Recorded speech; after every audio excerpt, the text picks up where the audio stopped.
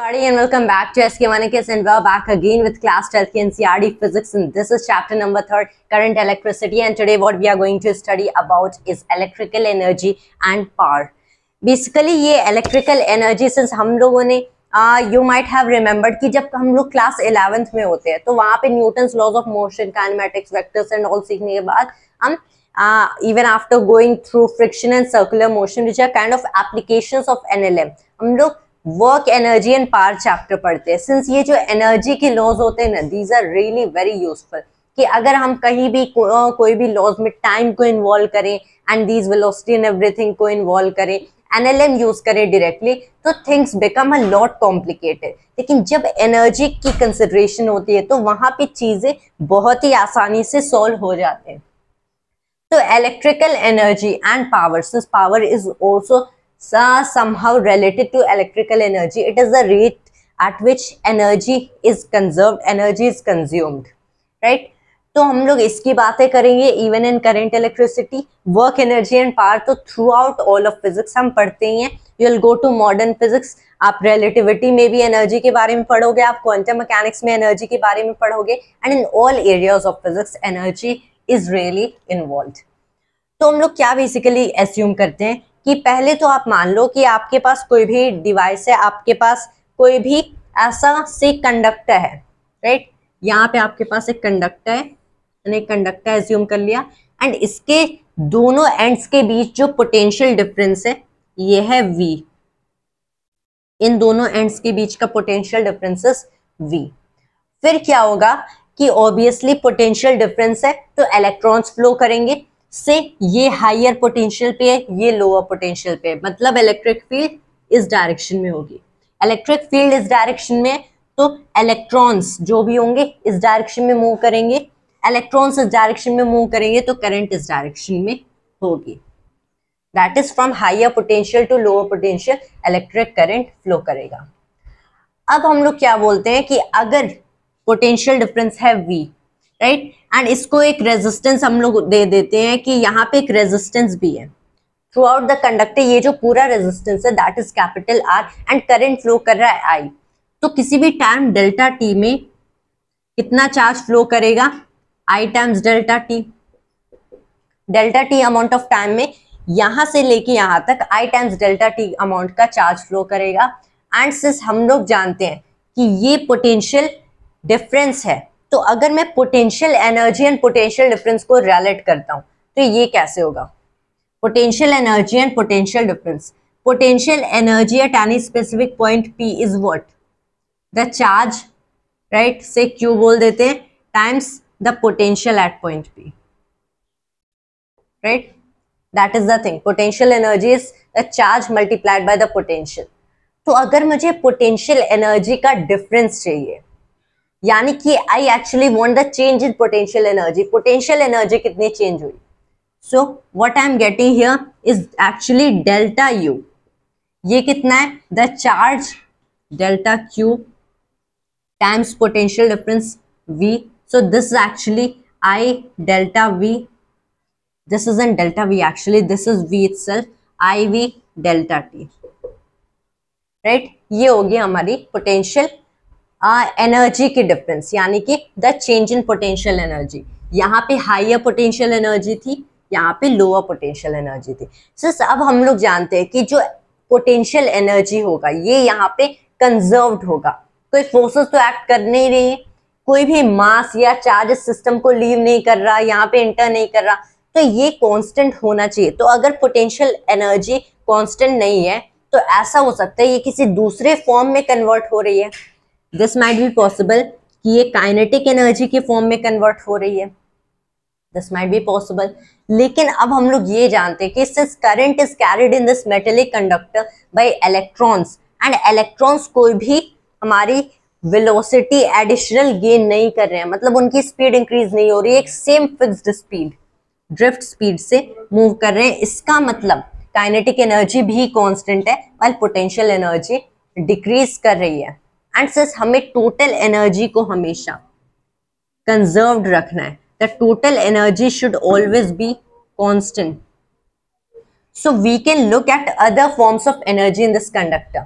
एक तो हो गई potential energy which goes down then that is the kinetic energy which remains the same तो एक और फॉर्म की एनर्जी होनी चाहिए which goes up to conserve the total energy total mechanical energy ये हो जाएगी इस कंडक्टर की इंटरनल एनर्जी या I am talking about the heat energy जब ये electron if you are looking at the process ये कांस्टेंट स्पीड तो मेंटेन करते हैं, लेकिन ये पॉजिटिव आयंस के साथ all through the way collide करते हुए जाएँगे।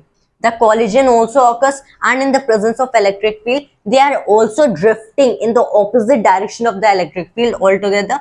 तो बेसिकली यहाँ पे क्या हो रहा है कि सिस्टम की जो इंटरनल एनर्जी होगी, ये इंक्रीज होगी। एंड ये कहाँ से आएगी? जो चेंज इन पोटेंशियल एनर्जी होगी, वो डिक्रीज करेगी, जो कि कन्वर्ट हो जाएगी इन द इंटरनल एनर्जी इसकी वजह से temperature of this conductor increase करेगा। किस रेट से इंटरनल एनर्जी इंक्रीज ये इंक्रीज करेगी? ऑब्वियसली जितनी चेंज जितनी लॉस हो गई पोटेंशियल एनर्जी में this is the loss actually of potential energy I V delta T तो इतनी एनर्जी इंटरनल एनर्जी में चेंज हो गया। This is the change in internal energy लेकिन actually we are not concern with the actual internal energy हमें इससे मतलब नहीं होता। Although this thing is about this heading is about electrical energy लेकिन what mainly is a concern is about power that is किस rate से internal energy increase या decrease हो रही है। इस सिस्टम में इंटरनल एनर्जी इंक्रीज हो रही है। मोस्टली आप क्या देखोगे? You might have heard of 400 watt 200 watt ये एक्चुअल में है क्या? ये है द रेट जिससे internal energy of the conductors increase होंगे इन डिवाइसेस जो कि जिसमें आपने कोई भी स्विच कनेक्ट किया है you have turn the key on तो उनकी इंटरनल एनर्जी इंक्रीज हो रही है। That is the energy is being confuse consumed किस रेट से आपकी ये पोटेंशियल एनर्जी कंज्यूम हो रही है? This is what this is power basically rate of doing work so this is the change in internal energy इसको मैं internal energy से डिनोट करूँगा कुछ ऐसे।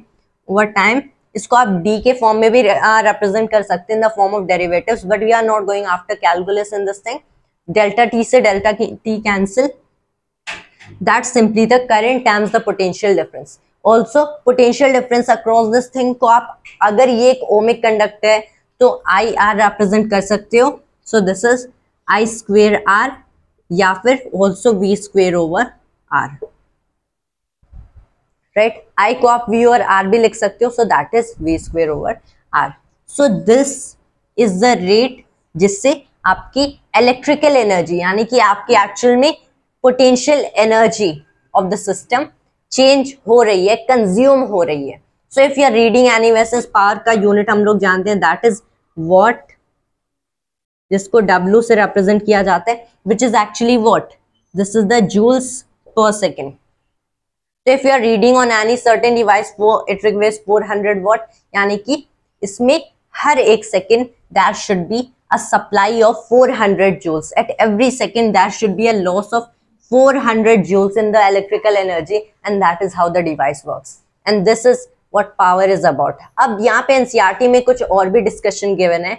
कि जब इंटरनल रेजिस्टेंस लाइक हमारे पास बहुत ही लॉन्ग वायर्स होते हैं when we are talking about villages and all तब there are so long wires from the power supply that are coming to our home and उसमें बहुत सारी current will be getting loss basically वहाँ पे क्या होता होगा, सिर्फ़ वायर की भी इंटरनल रेजिस्टेंस होंगी, यानी कि वहाँ पे थोड़ी पार कंज्यूम भी हो जाती है।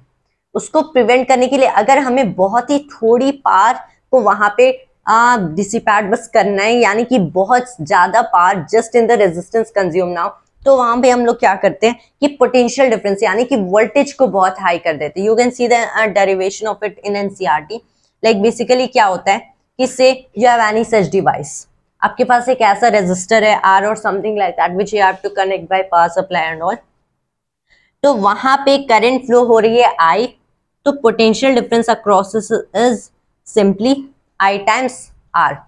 R is the resistance of that resistor or the pass uh, or the device that you are actually connecting. फिर you have wires and all.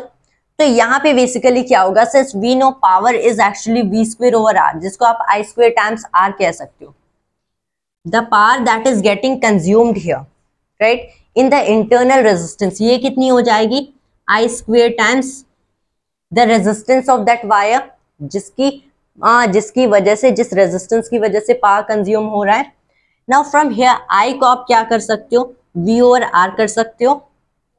तो बेसिकली क्या होगा कि this is V square over ये हो गया हमारा आर टाइम्स में R see right that is the thing so इतनी कुछ अमाउंट की पावर कंज्यूम हो जाती है nothing although this topic in NCERT as I as I feel is in that important mainly हमारा कंसर्न क्या है कि what is the power in any certain device required that is I square R जितना उसमें current flow होता है, उसका square times में resistance at this rate the power uh, actually electrical energy is getting consumed and that is all about electrical energy and part that we actually need to learn in NCRT thanks to always in Jai Hind Jai Bharat